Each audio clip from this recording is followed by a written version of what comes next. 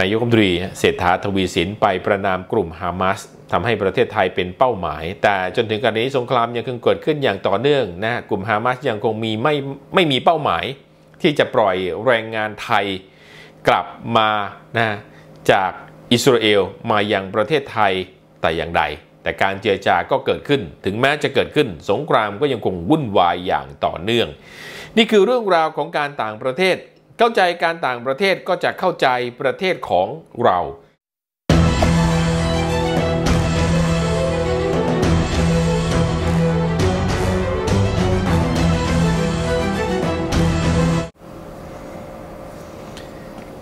สวัสดีครับ มาพบกับผมเทอศักดิ์จิมกิจวัฒนาครับ วันนี้ก็สวัสดีหุ้นส่วนฮะที่รับชมทุกแพลตฟอร์มของสำนักข่าววีหกนิวส์นะครับ วันนี้ประเด็นที่น่าสนใจ เป็นเรื่องราวเกี่ยวกับการต่างประเทศแน่นอนฮะก็เกี่ยวข้องกับเรื่องของประเทศไทยด้วย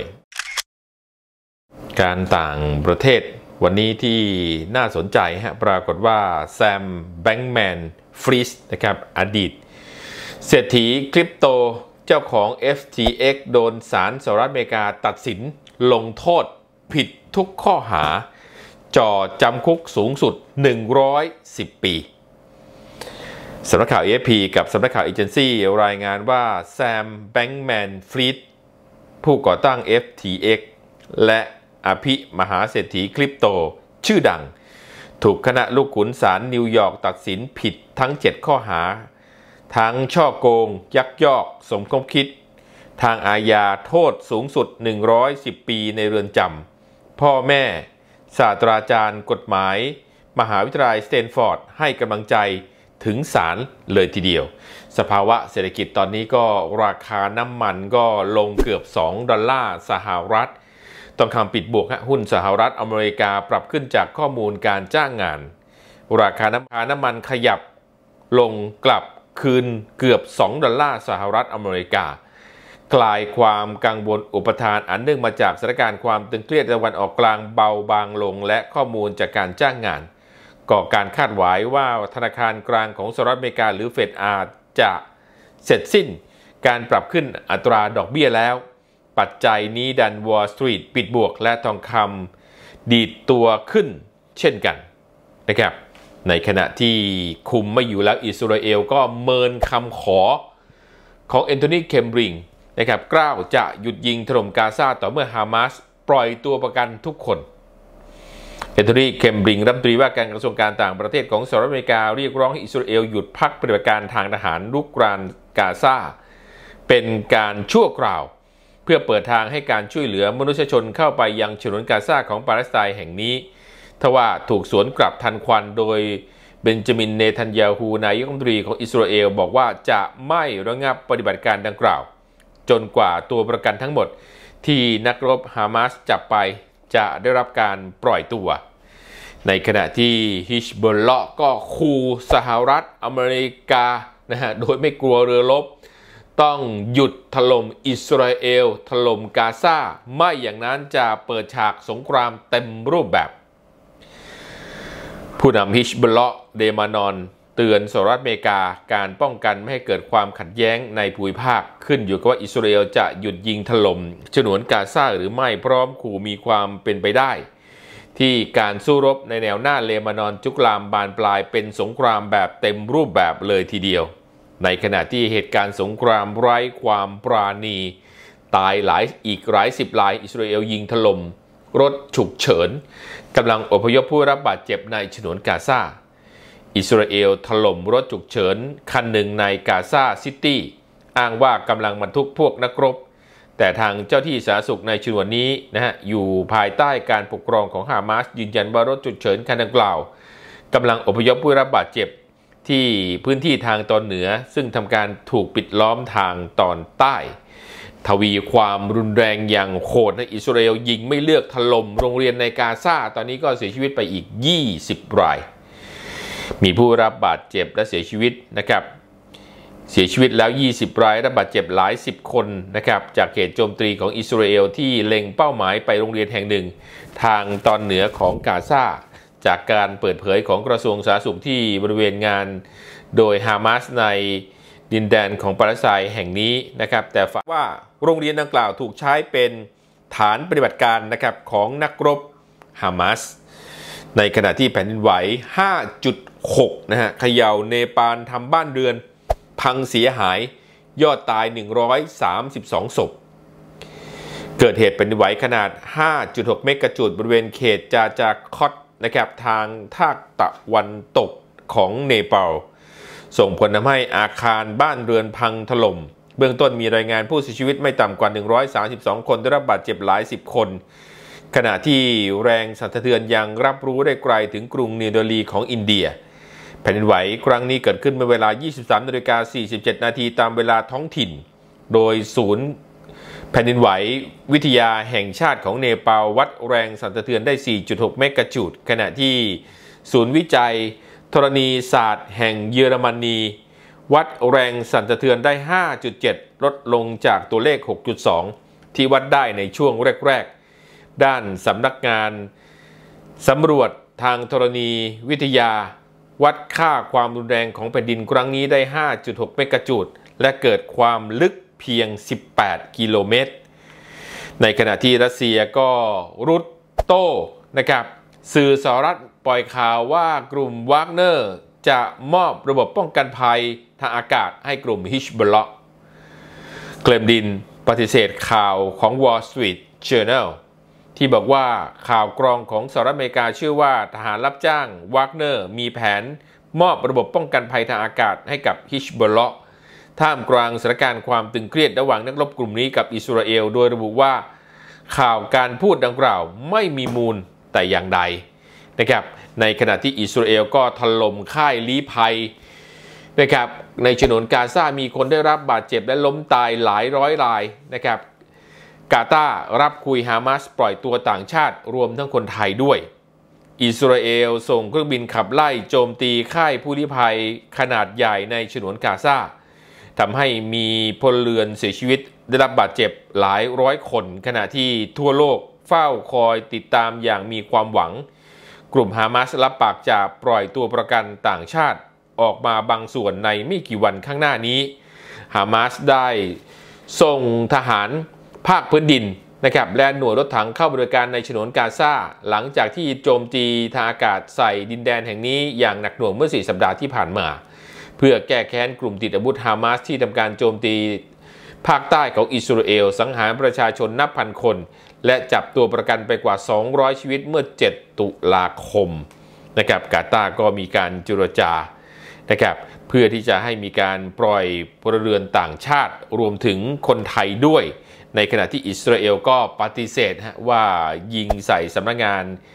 AFP ในฉนวนกาซาสัมพันธ์นักข่าวหึมขออภัยฮะสหพันธ์นักข่าวหึมนะครับโจมตีสื่อเท่ากับอาชญากรรมสงคราม กองทัพอิสราเอลยืนยันไม่มีเจตนายิง โจมตีสำนักงานของสื่อนะครับ AFP ในฉนวนกาซาแต่ยอมรับว่ามีการถล่มเป้าหมายใกล้ ๆ กัน ซึ่งส่งผลทำให้ตัวอาคารของสำนักงานข่าวได้รับความเสียหายอย่างหนักไปด้วย ขณะที่องค์กรสื่อสากลออกมาเตือนว่าการพุ่งเป้าหมายโจมตีสู่มวลชน เข้าข่ายอาชญากรสงครามเลยทีเดียว ในขณะที่จีนลั่นยินดีที่จะให้ไมครอนนะครับขยายธุรกิจ บ่งบอกความตึงเครียดกับสหรัฐอเมริกาเริ่มคลี่คลาย รัฐมนตรีว่าการกระทรวงพาณิชย์ของจีนระบุพร้อมสนับสนุนให้บริษัทไมครอนเทคโนโลยีนะครับผู้ผลิตเซมิคอนดักเตอร์ของสหรัฐอเมริกาขยายธุรกิจในแดนมังกรนับเป็นหนึ่งในสัญญาณบ่งชี้ว่าความตึงเครียดระหว่างปักกิ่งและวอชิงตันนั้นเริ่มทำการคลี่คลายเชิงงานวิเคราะห์สถานการณ์ขณะนี้นะครับต้องยอมรับนะว่าสถานการณ์ยังคงมีความรุนแรงอย่างต่อเนื่องนะครับ อิสราเอลนะฮะปฏิเสธที่จะหยุด ปฏิบัติการในการโจมตีฉนวนกาซาในขณะที่มีการโจมตีทั้งโรงเรียน มีทั้งการโจมตีทั้งรถพยาบาล มีการโจมตีนะครับบริเวณศูนย์อพยพ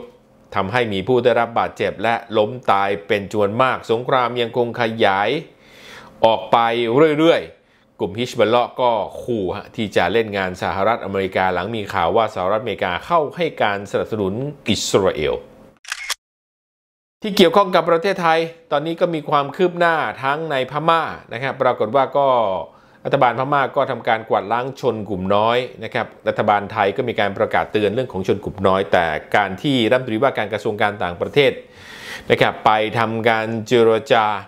นะครับกับทางกษัตริย์ของกาตาปรากฏว่าตอนนี้กาตาก็เข้าไปทำการเจรจากับอิสราเอล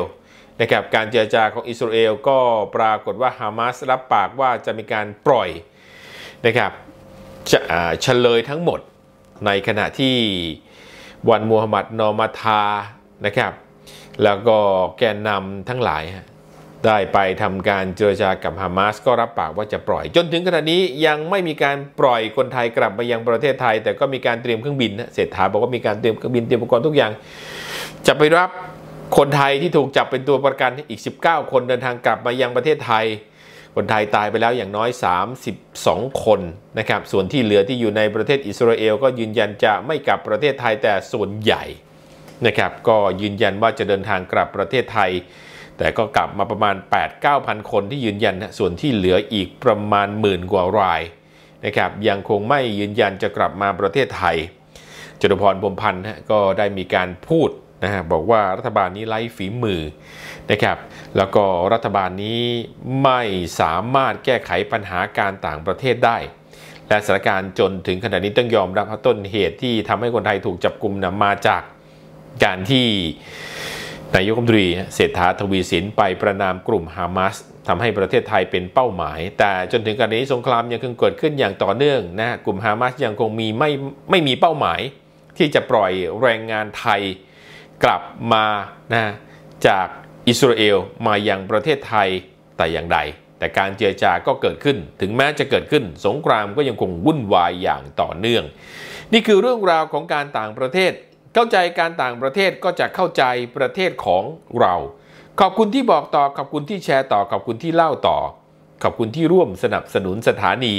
ขอบคุณที่ร่วมกันทำความดีเพื่อความดี ผมเทอศักดิ์เจียมกิจวัฒนา สวัสดีครับ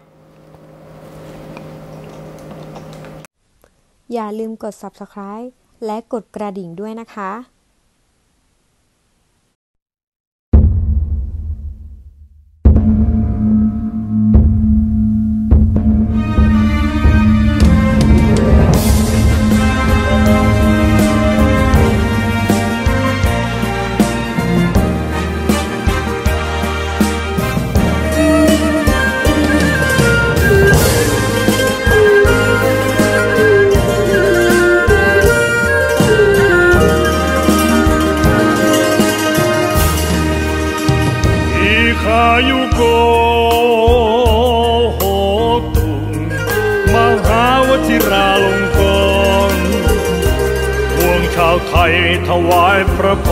รวรางคูณทะเลิงทวันสืบราชายสูนเจิดจำทูลพระเจ้าแผ่นดินสินักราแผ่นดินไทยในรัชกาลที่สิบ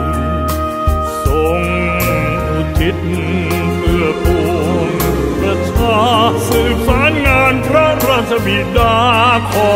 พระสยามเทวาคุ้มครองพระองค์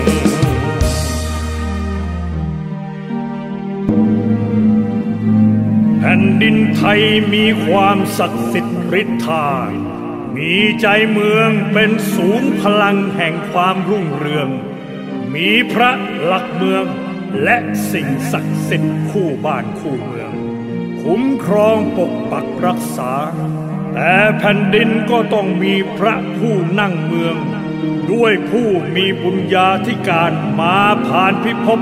เป็นพระเจ้าแผ่นดิน ที่ได้ผ่านการพระราชพิธีบรมราชาพิเศษครบพลังศักดิ์สิทธิ์ฤทธา เป็นพระบาทสมเด็จพระปรเมนทรรามาธิบดี ศีสินมหาวชิราลงกรณ์มหิสรภูมิพล ราชวรางคูลกิติสิริสมบูรณ์ อดุลยเดชสยามินทราธิเบศราชวโรดม บรมนาถบพิตรพระวชิระเกล้าเจ้าอยู่หัวโอเดชะพระทรงเป็นพระมิ่งขวัญ พระบุญญาธิการดังร่มโพใหญ่พระบารมีนำชาติพ้นไปราษฎรเดือดร้อนนะแห่งหนใดทรงรีบช่วยด้วยพระเมตตาทรงเป็นกษัตริย์จอมทัพเกรียงไกรทรงเป็นกษัตริย์นำราชให้จิต อาสา ทรงเป็นกษัตริย์ ดวงใจของไทยประชา ทรงเป็นกษัตริย์ที่รักนักราเหนือยิ่งสิ่งใด